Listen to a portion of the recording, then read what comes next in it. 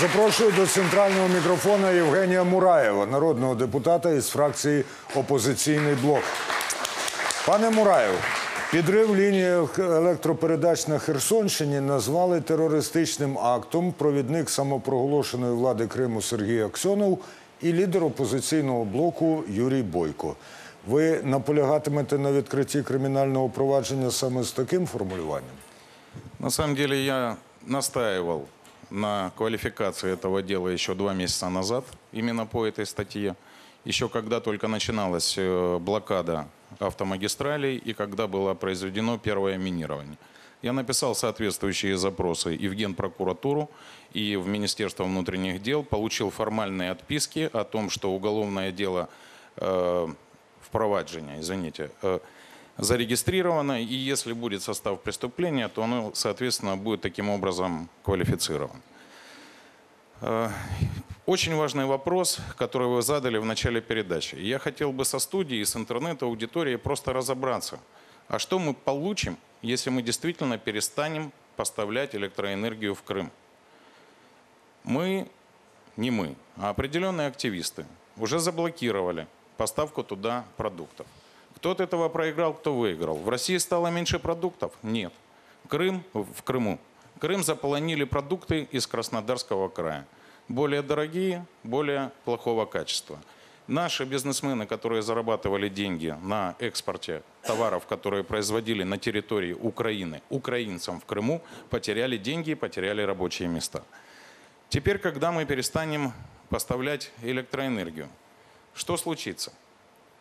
Вы думаете, пострадают военные объекты в Крыму? Я думаю, что здесь большинство мужчин служило в армии, и все прекрасно знают, что в воинских частях, тем более в зенитных подразделениях, существуют стационарные резервные системы, которые обеспечивают бесперебойное энергоснабжение.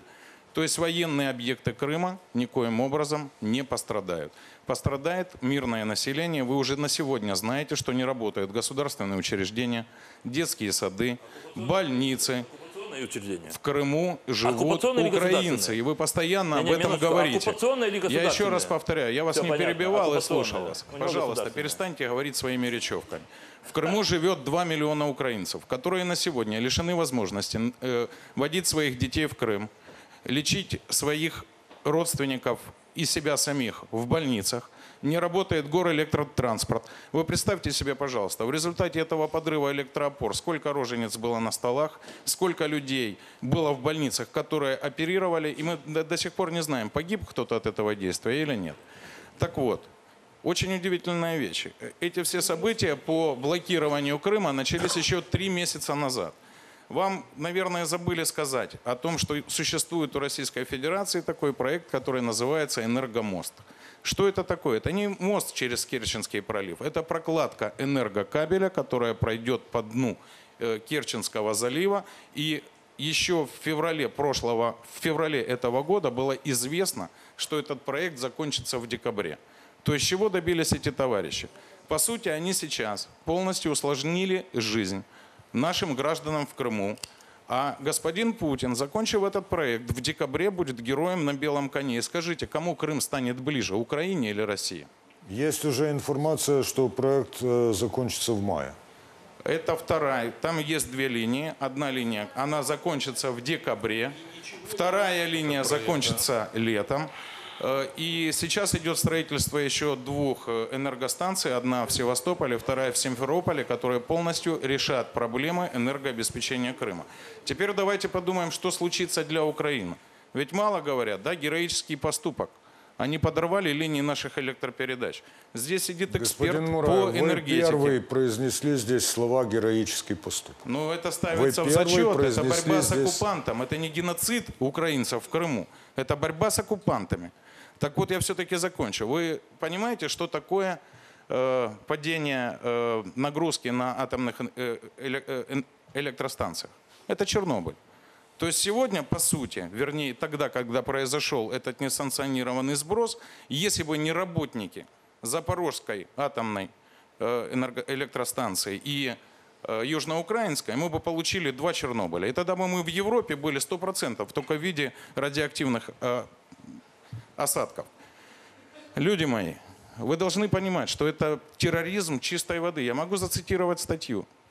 Мы на самом деле могли получить колоссальные проблемы. Мы могли уничтожить Украину просто вот этими действиями. И, по- и власть, которая потакает этим, по сути, потакает террористам. Кроме того, вы знаете, что на сегодня, помимо Крыма, еще проблемы в двух э, районах Херсонской области, кстати, где стоят именно украинские вооруженные силы, у которых нет стационарных установок для бесперебойного энергоснабжения. И именно наши войска остались без энергопотребления. Остались, и это факт. Вот вы потом это расскажете. Я вчера туда приехал. Теперь второй момент. Вы теперь, конечно, вы сначала исполните, а потом едете разбираться. Ничего ли не случилось на самом деле серьезно?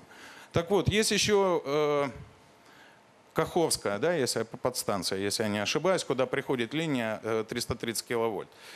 Если бы там произошло короткое замыкание, чудом не произошло, не легли ячейки, 40% бы Николаевской и Херсонской области тоже бы остались без электроэнергии.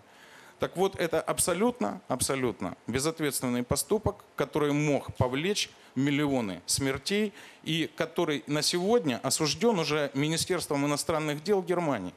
Вы начинали с этого передачу и сказали, что э, господин Шефер, представитель МИДа, потребовал возобновить энергоснабжение Крыма, поскольку это международные договора, и призвал привлечь к ответственности тех, кто в этом виновен.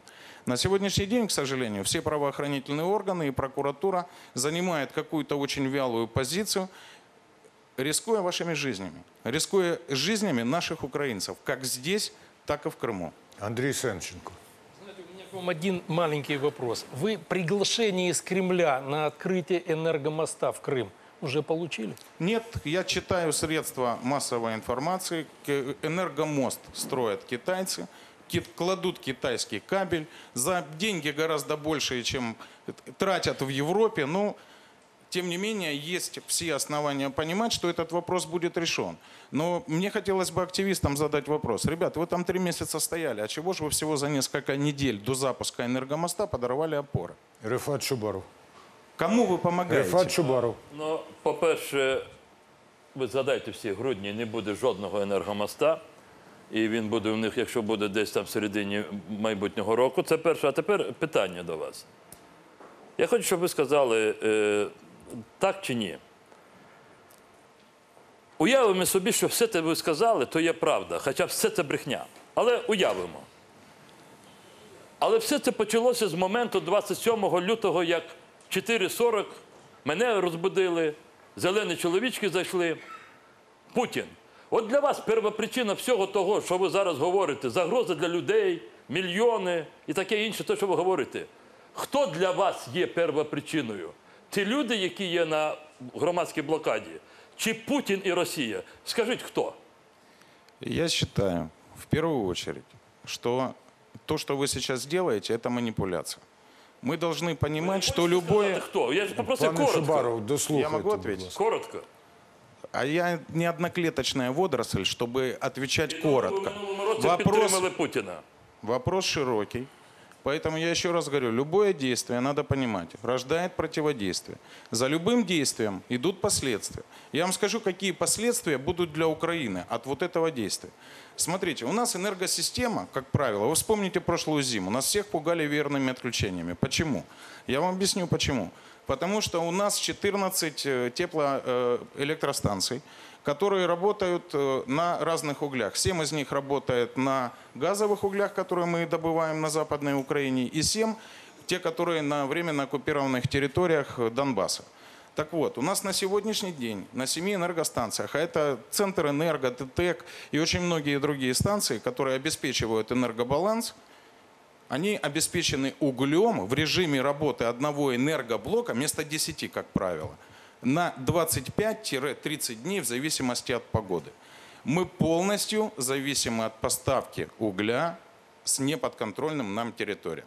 Если сейчас, после вот этих действий, Россия примет ответные меры, как она приняла, когда э, Яценюк отменил полеты э, наших авиакомпаний в Россию, и прекратят отгрузку угля оттуда, мы все зимой будем без света. Если перестанут поставлять ядерные твелы для наших атомных электростанций, мы все зимой будем сидеть без света. И отвечать за это должны те, кто занимается популизмом, не решая вопрос совершенно возврата Крыма, и которые подвергают, подвергают безумной опасности всю нашу страну. Господин Мураев, э, Питание не пане, відповіли. пане Чубаров, господин Мураев, я вынужден настаивать на том, чтобы вы ответили на вопрос господина Чубарова. Еще раз формулируйте, только Всього спокойно. того, що ви говорите, уявимо, що все це правда, що ви говорите.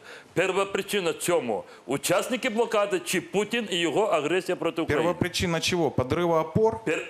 Перша причина такого нашого стану в Україні, що ми маємо закупати вугілля на окупованій території, що ми маємо забороняти літаки. Першу причину назовіть мені. Я абсолютно уверен, что первопричина этой ситуации – это Турчинов и Яценюк. Окей, ну це все. Валентина Самар. Это именно те люди, я продолжу, если можно.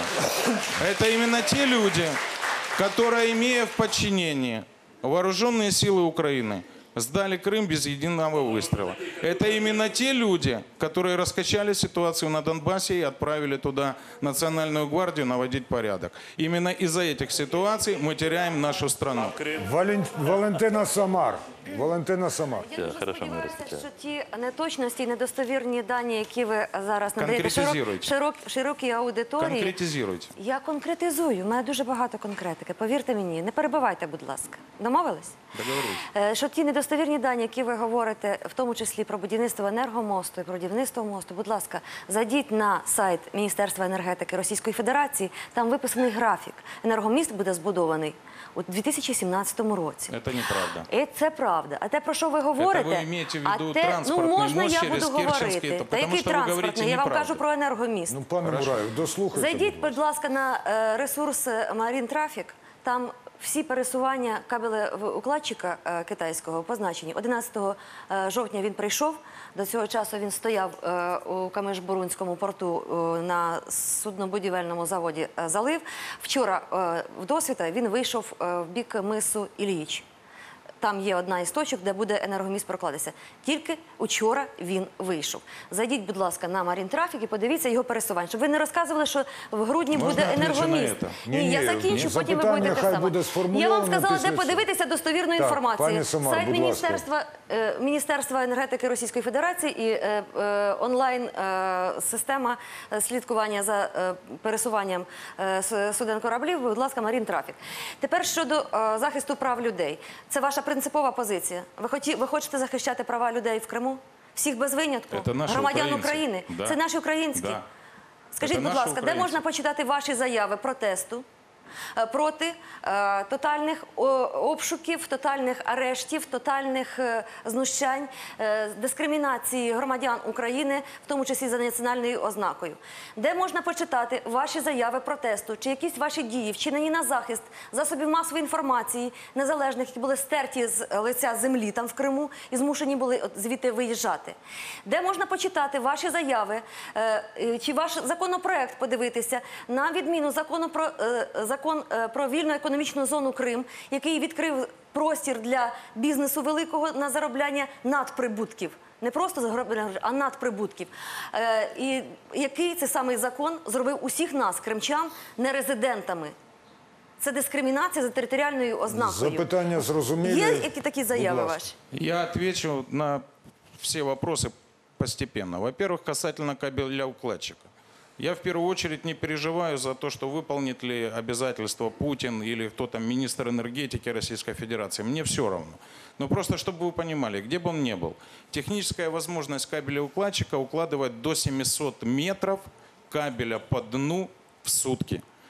Э, Ширина Керченского пролива от 4,5 километров до 16, если я не ошибаюсь. Посчитайте, три недели – это максимальный срок, при котором может быть реализован этот проект. Я согласен с господином Сечиным, должны быть еще опоры на материковой, на полуострове части, воды и все остальное.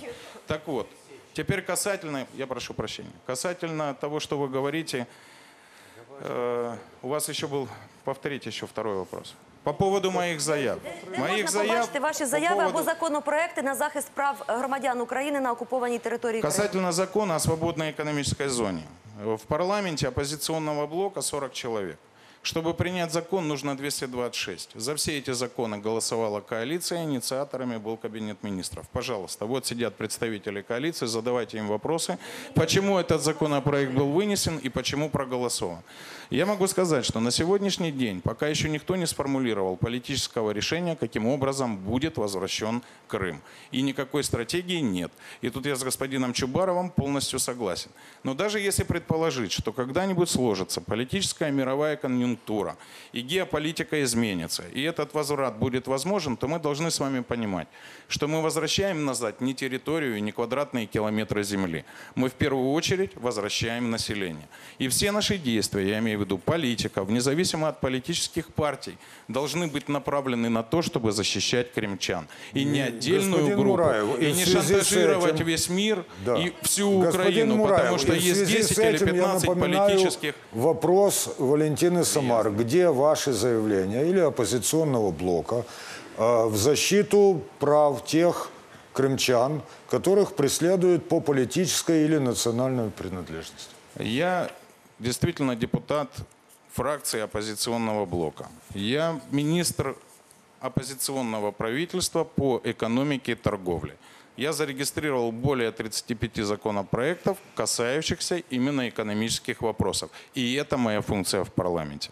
Есть Королевская, есть ряд других товарищей, которые занимаются именно социальными вопросами и вопросами населения.